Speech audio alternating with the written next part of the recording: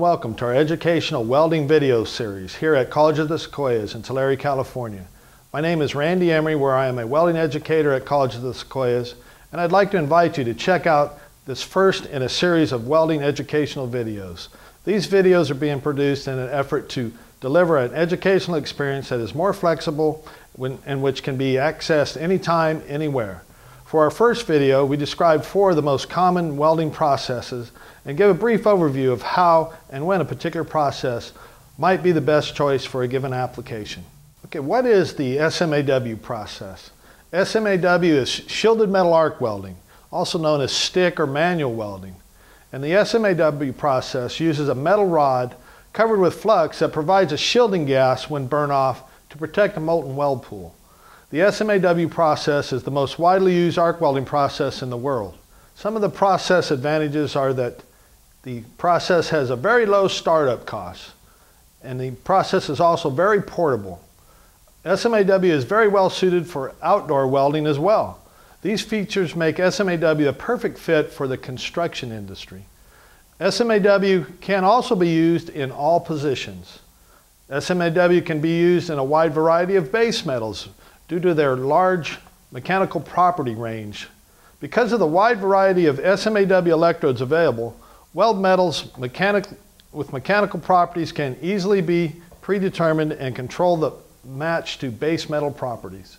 Okay, now a little bit about SMAW process limitations. Because the SMAW electrodes are not fully used in the process, they have a very low efficiency rate. And that, that rate can be below or between 65 to 70%. Because of the wide range of SMAW electrodes used, the different techniques welders need to master, welding skill levels are also an issue. Because of the SMAW electrode length, welding stops and restarts are always a quality control problem. Any welding process that produces a slag such as this SMAW are always subject to slag entrapment problems which could lead to quality control issues. One of the uh, variables for the SMAW process is electrode selection. And when uh, choosing a proper electrode, you must know a little bit about the AWS electrode classification system. The E in the classification system stands for electrode. The next two digits, possibly 70 zero, are the tensile strength times 10,000 pounds. And the, the next digit, could be a one or a two, uh, would tell you the welding position the electrode can be used in. One equals all, and two is either flat or horizontal. And the next digit will tell you the type of current or coating. And this uh, may be useful information when to, to determine uh, what settings you use for a typical electrode.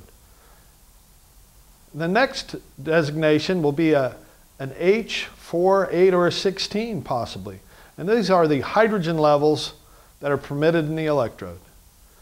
The last digit or letter, possibly an R, will tell you that this electrode has passed the Moisture absorption test dictated by the classification system. Now we're here in the welding lab and I'd like to uh, expand on the classroom lesson with a little uh, demonstration procedure. First of all, the, uh, the low cost startup advantage of SMAW. Well, what do we mean by that? We mean that we can, we can buy a power source that will do the SMAW process for as low as $400. And uh, the only other expenses we might need would be the the proper welding clamps and uh, enough welding lead to give it, uh, do a given job. Along with low-cost startup, the portability of the SMAW process. What do we mean by portability? Well, if we were working on a, uh, say, an eight-story building, all we would need to do is, is put our, our clamp on the first floor and have enough welding lead to reach to the eighth floor. So we, we don't have to carry our process around with us. All we need is the business end of the uh, process, which would be the stinger. Uh, another advantage of the SMAW process was the outdoor welding capabilities. And as we, uh, as we get to know our, our AWS classification system with our electrodes, we'll realize that wind or outdoor current will not affect the uh, performance of the process. Uh, I'd like to review our AWS classification system. And here's an actual electrode. And you should find these numbers on any electrode that you would use. If, if they are not labeled with these numbers, I would not uh, recommend using them. Here, here you have the uh, 60-10 electrode. And the uh, 60 tells us that, that pounds of tensile strength times 10,000. So this would be uh, a good match for a base metal that has 60,000 pounds of tensile strength or less. And then you have a, the one that, that tells us that this is an all position electrode. So this can be used flat, horizontal, vertical, and overhead. And the final digit, which is a zero, describes the, uh, the flux composition or the uh, operating characteristics that the electrode will have. Now that we've learned about the uh, SMAW process, I thought it'd be a good idea to take a quick look at the equipment. Uh, here we have a typical uh, Lincoln Invertec uh, power source. It's a multi-process power source, but it is also a great SMAW uh, power source as well. Uh, if we'll take a look at the, the mode selections, we have CC stick soft, CC stick crisp, we have GTAW, TIG welding, we have CV wire, and we have CV Innershield. What do these mode switches mean? Well, like I said, this is a multi-process power source, and we want to take a look at the top two since we are in the SMAW stick welding uh, unit.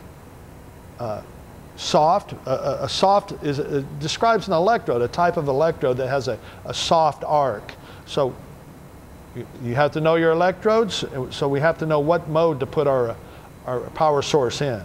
Or do we have a crisp electrode with a digging, forceful arc? So here's our two selections, and we simply uh, select it through our, our selection switch, and the, the, the light to the corresponding mode will come on. And over here we have two, two different dials that uh, confuse uh, new welding students uh, occasionally. We have a hot start control. What is hot start? If we have our uh, amperage setting at 100 amps and we set this at, at 50 or 5, excuse me, we have uh, a certain percentage above that other amperage just for the start in milliseconds. This is uh, a control that uh, is used to eliminate cold starting. Okay, and we also have arc control. What is arc control? It, it uh, adjusts the forcefulness of the arc. As the numbers go up into the plus category, the arc becomes more forceful and can, uh, can solve problems such as improper fit up or tight fit up.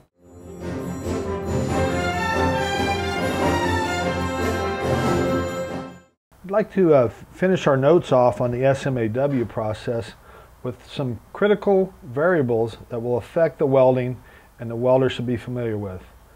The first item is the direction of travel. Something important about this is notice the angle of the electrode.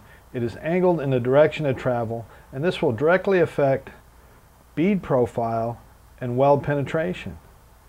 The next item is the shielding gas. This gas is created by the burning off of the electrode flux. This shielding gas envelope will protect the molten weld pool until it solidifies and gets below its critical temperature. The next item is the slag covering. And like the shielding gas, the purpose of the slag covering is to protect the weld bead until it is cooled and stabilized. The next item on the screen is the solid weld metal. This is just showing the position of the finished weld bead and its depth of penetration. After that, we have the weld puddle. This is showing the actual molten weld metal being deposited as the weld progresses. And our next item is the electrode core wire.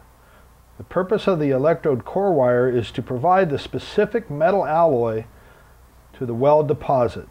The mechanical properties of the metal core of the electrode should be a close match to the mechanical properties of the base metal. The final item shown is the welding arc. The purpose of the welding arc is to provide the heat source to melt both the base metal and the electrode core wire to produce the weld pool.